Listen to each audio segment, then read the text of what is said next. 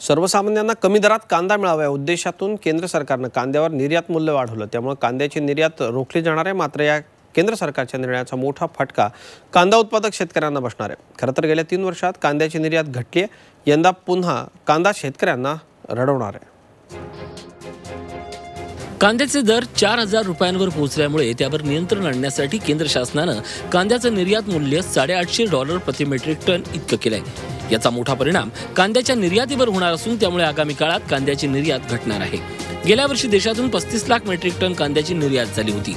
तर गेल्या पाच महिन्यामध्ये अवघे चौदा लाख मेट्रिक टन कांद्याची निर्यात झाली आहे. सध्या बाजारातील उन्हाळ कांदा संपत आला असून लाल कांद्याची आवक सुरू झाली आहे. निर्यात मूल्यवाढीच्या निर्णयाचा फटका लाल कांद्याला बसणार असल्यानं शेतकरी हवालदिल झालाय. लाल कांद्याला जो काही बाजारभाव मिळणं शेतकऱ्यांना अपेक्षित होता तो मिळण्यात आता अडचणी येण्याची शक्यता निर्माण झाली आहे.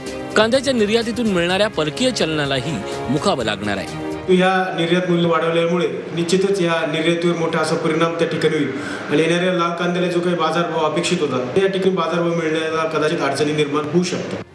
गेल्या तीन वर्षात कांद्याची निर्यात हळूहळू कमी झाली आहे. दोन हजार पंधरा मध्ये अठरा लाख मेट्रिक टन कांद्याची निर्यात करण्यात आली. त्यावेळेस कांद्याला सरासरी अठराशे ते पस्तीसशे दर मिळाला होता. सन दोन हजार सोळा मध्ये पस्तीस लाख मेट्रिक टनापर्यंत कांदा निर्यात झाला. त्यावेळी प्रति क्विंटल हजार रुपयाच्या आसपास दर मिळाला. यंदा गेल्या पाच महिन्यांमध्ये चौदा लाख मेट्रिक टन कांद्याची निर्यात झाली असून अठ्ठावीसशे रुपये दर मिळाला आहे. गेल्या दोन वर्षापासून राज्यातील कांदा उत्पादक शेतकरी जास्त दर मिळत नसल्यामुळे हैराण असताना केंद्र सरकारनं कांद्यावर निर्यात मूल्य लादल्यामुळे कांद्याचे दर घसरणार आहेत. केंद्र सरकारनं केवळ सामान्य नागरिकांना खुश करण्यासाठी कांद्यावर निर्यात मूल्य लावलं असून कांदा उत्पादक शेतकऱ्याला वाऱ्यावर सोडलंय. Chetan Kulas Zee media Yeola.